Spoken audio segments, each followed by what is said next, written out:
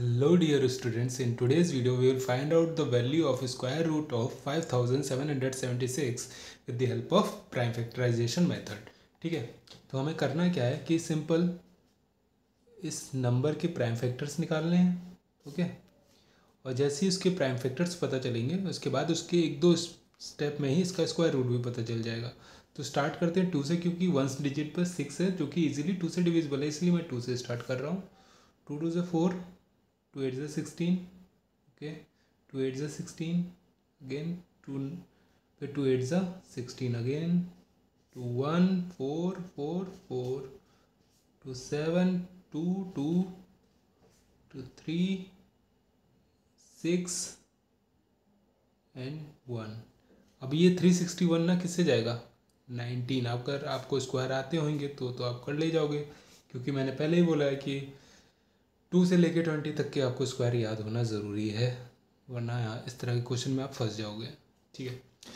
तो ये आया इसका प्राइम फैक्टर्स अगर मैं ये कहूँ कि इन प्राइम फैक्टर्स को मैंने मल्टीप्लाई कर दिया like two into two into अब टू इस नाइनटीन तक मैंने मल्टीप्लाई कर दिया तो इसका रिज़ल्ट क्या आएगा? वापस से यही आ जाएगा नंबर जिसके आपने प्राइम फैक्टर्स निकाले। मतलब किसी के भी आपने प्राइम फैक्टर्स निकाले हो ना, और वो नंबर हो, वो नंबर कब वापस आएगा? जो आपने प्राइम फैक्टर्स निकाले मल्टीप्लाई कर दो सीधे, वही नंबर आ जाएगा, ठीक है? और यहाँ पे स्क्वायर रूट निकालना है तो टू नंबर से याद रखना कि पेयर बनाने में देखिए और बनते भी नज़र आ जाएँगे। जब आपको इस तरह का दिया होगा तो आपको पेयर बनते नज़र आ जाएँगे। जब क्यूब रूट दिया रहता है तो वहाँ पर ट्राइड बनता नज़र आता है मतलब एक साथ तीन तीन नंबर होते हैं ना। तो मैं अभी ये कहूँ कि एक साथ दो नंबर लिखा है तो टू इंटू टू इसको टू स्क्वायर भी लिख सकते हैं। ये भी टू स्क्वायर नाइनटीन स्क्वायर ठीक है? तो मैं अब इससे लिख रहा हूँ कि two square into two square मैंने यही तो बोला कि इनको आपस में मल्टीप्लाई करा दो तो ये नंबर वापस आ जाएगा। वही कर रहा हूँ बस। ये थोड़ा एक्सपेंडेड फॉर्म में नहीं कर रहा मतलब टू इंटू टू इंटू अब टू नाइनटीन इंटू नाइनटीन थोड़ा सा क्लोज कर दिया मैंने। चीज़ें थोड़ी सिमट गई यहाँ पर। ठीक है?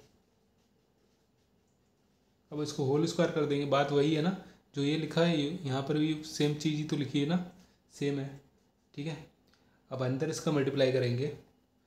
Four four time, okay, nineteen को आपको फोर टाइम पढ़ना है, ठीक है? मान लो कि आपको ट्वेंटी को अगर फोर टाइम पढ़ना होता तो एट्टी आ जाता, अब फोर टाइम पढ़ना है, इसमें एक एक कम है तो सेवेंटी सिक्स हो जाएगा, सिंपल। अगर नहीं आता तो इस तरह से कर लिया करो, फटाफट, ठीक है? अब ना पावर को हम दूसरी तरफ़ भेजेंगे, क्यों भेजेंगे? पता चल जाएगा, क्योंकि यही लास्ट स्टेप है। मैंने इधर पावर इधर जाएगी, दूसरी तरफ़ राइट हैंड साइड से लेफ़्ट हैंड साइड तो क्या हो जाएगी? वन बाई टू अगर यहाँ टेन होती तो यहाँ जाती तो वन बाई टेन हो जाती सिंपल और सेवेंटी सिक्स की पावर क्या बची? वन बची। ज़ीरो मत लगाना। अगर आप वन करोड़ की भी पावर ज़ीरो लगाओगे ना, उसका रिज़ल्ट वन ही वन हो जाएगा। ठीक है?